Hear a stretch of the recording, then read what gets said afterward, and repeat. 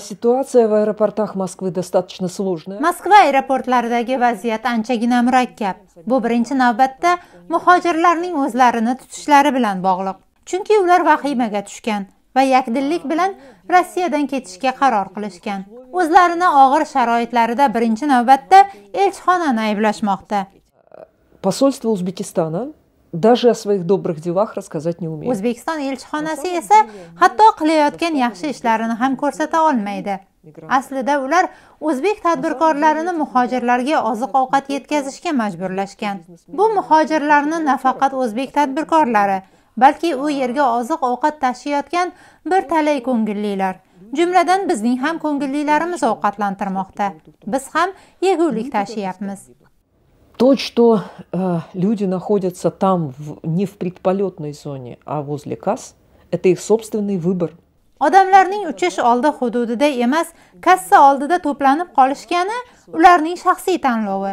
Ularga mehmonxona taklif qilishgan, ammo muhojirlar rad etishgan. Bugun aniqlanishicha, migratsiya agentligi qabul qilishga tayyor bo'lgan 700 kishilik mehmonxonaga bor yo'g'i 30 kishi borishga rozi bo'lgan.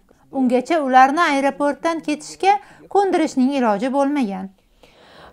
Беда еще состоит в том, что э, в Узбекистане не хватает. Yana bir muammo shundaki, O'zbekistonda karantin paytida odamlarni joylashtirish mumkin bo'lgan muassasalar yetishmaydi. Buncha miqdordagi kishilarni karantinda saqlashga tayyor kasalxona, sanatoriy, mehmonxonalarda joy tugadi. Axir ularning hammasini karantinga olish kerak. Tabiiyki, buning uchun maydonlar, karantindagilarga qaraydigan xodimlar kerak. Ammo ular yo'q. Shu sababli bu insonlar uchun reyslar jo'natishmayapti. И вот это вот желание улететь, оно не спасает людей от коронавируса, оставит их O'zbekistonga uchib ketish xohishi insonlarni koronavirusdan qutqarmaydi. Aksincha yanada xavotirli vaziyatda qoldiradi. Chunki koronavirus ehtimoli bo'lgan odamlar ichida bo'lishadi. Shuning uchun aeroportda bo'lishlari ularni xavotirli holatda qoldiradi. Ular aeroportga yotib olishlari emas, u yerdan ketishlari kerak. А уехать бы оттуда. Сейчас у тех, кто находится в России легально, есть возможность... Hozir Rossiyada qonuniy bo'lganlar uchun migratsiya hisobini shunchaki karantin asosida 90 kunga uzaytirish imkoniyati bor. Shunchaki karantin asosida chegaraga chiqmay kelib turib patentni rasmiylashtirish imkoni bor. Shuning uchun aeroportda o'zlarini bunday tutishlari muvofiq emas. Agar ularning ijara uy yoki mehmonxonalarda yashashga pullari bo'lmasa, migratsiya agentligi mehmonxonalarida 600 dan ortiq bo'sh joy turibdi.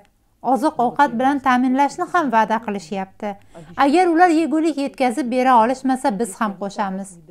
Sizlarda qolish, hujjatlaringizni rasmiylashtirish, xotirjam ishlash, bu muammolarni shu yerda yengib o'tish, ishlab pul topish, keyin uyga ketish imkoniyati bor. Заработать денег и уехать домой. Аэропорту Внуково у нас Vnukovo aeroportida 202 nafar o'zbekistonlik bor edi. 30 tasi mehmonxonaga ketishga rozi bo'ldi.